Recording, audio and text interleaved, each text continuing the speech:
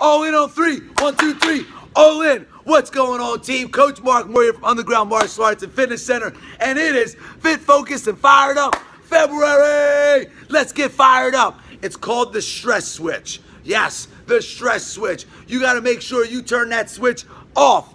Think about it. When you're in quicksand, what do you do? Do you run really fast and try to get out? No. Why? Because you sink even quicker. If you get caught in sick, uh, quicksand, you want to stop everything you're doing. Grab something, ask for help, but you can't move any quicker. Don't make it worse. Same thing with stress. When you start feeling stressed, stop.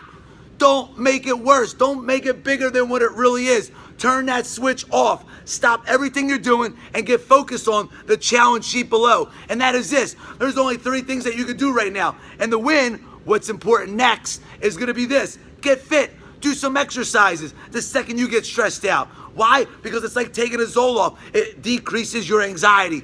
Two, get focused. When you're stressed out, get focused on the things that are going to make you better. Get focused on the things that you can start doing that are going to improve the situation that you're in. And then three, get fired up. Get around people that are excited, happy, or are achieving the results that you want, or that are not as stressed out as you right now and can give you a better frame of mind. There it is. Turn the stress switch off, get fit, focused, and fired up. Coach Mark Moore saying, stay stress free. You rock.